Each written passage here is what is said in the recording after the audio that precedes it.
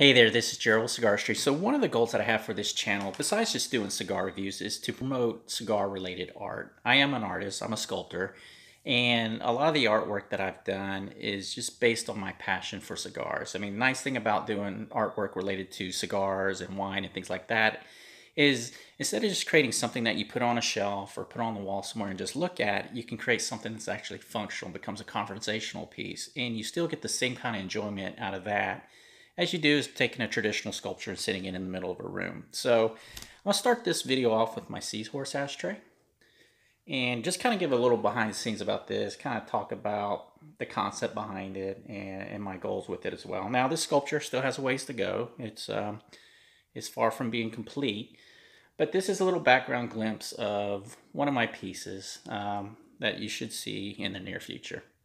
So I'll bring up some closer images of it, um, some photos, and then I'll just give a little brief discussion on my motivation for creating this little guy here. Okay, the seahorse sculpture for me has a little bit of a special meaning in that the first wax sculpture that I ever uh, did back in 2008 was a female warrior riding on a seahorse, a giant seahorse. So basically what I've done is I've taken that sculpture, removed the female warrior, and put a saddle on this on this piece where I can uh, use it as a uh, cigar rest, as you can see here. So the whole idea was just to kind of simplify the sculpture, uh, remove the female warrior. She had like a spear and everything, and I'll throw an image on this screen uh, of the original sculpture. But to remove that, create this unique saddle where I can turn that into a bowl. And I'll probably make that a lot deeper, but turn it into a bowl that can be used to uh, for putting in the uh, cigar ash. This piece definitely had, a, you know, I put a lot of time into it back in uh, 2008. It was a learning experience for me. So it was just a growing piece uh, for me to, to learn about uh, sculpting with wax and everything like that. So this this is one of those pieces where I just thought it'd be cool to turn into an ashtray. It's extremely detailed, extremely unique, and it's just a great opportunity to um, create something that's never been done before.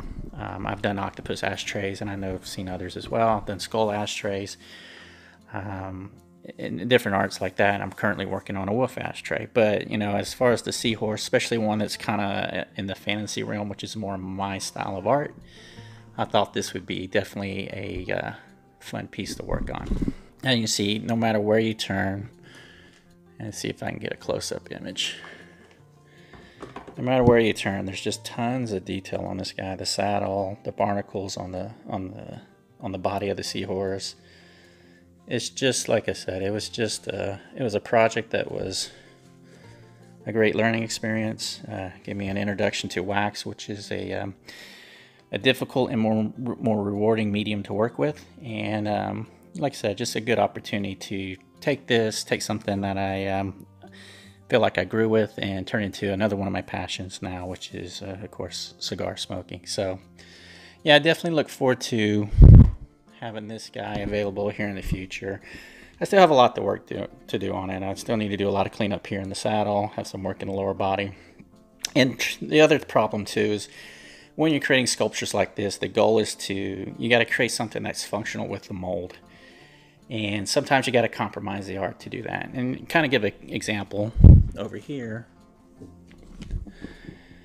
This is the original sculpture for my octopus ashtray. And I've shown this ashtray in multiple videos. So I had to design this guy um, in a manner where I could create a mold where it just made sense to, to produce the piece. Um, ideally, it would have been fun to have arms coming out all over the place, but once the mold becomes more complicated, the costs go up, and it's just not really not worth it at that time. Uh, so, same thing with the seahorse. The original seahorse, original seahorse had fins coming over here. Like I said, it had a female warrior with a spear, and you know, it's just it becomes a lot more complicated piece with with parts, especially when you think about shipping and everything else. That it just made sense where I had to um, scale it back.